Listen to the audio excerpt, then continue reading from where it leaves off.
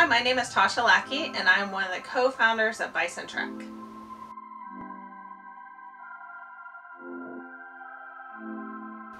The Herd Collection is racer branded apparel and accessories that we offer through our website at bisontrack.com.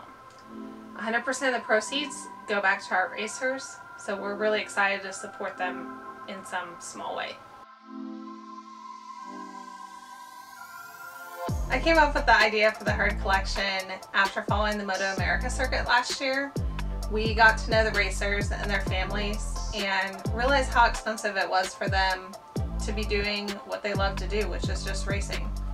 Um, a lot of these families are paying thousands of dollars out of pocket just to race and do something they love.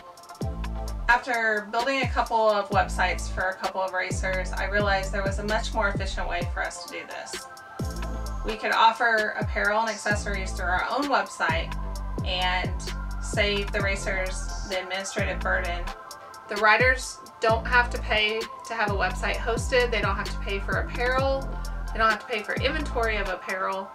Um, we partner with them, come up with designs. Riders are able to have branded apparel and accessories out there for their fans, for their families, people that want to support them, even for their sponsors, um, without any upfront cost.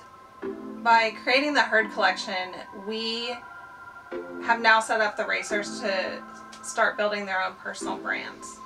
My goal by creating the herd collection is to elevate the sport one racer at a time.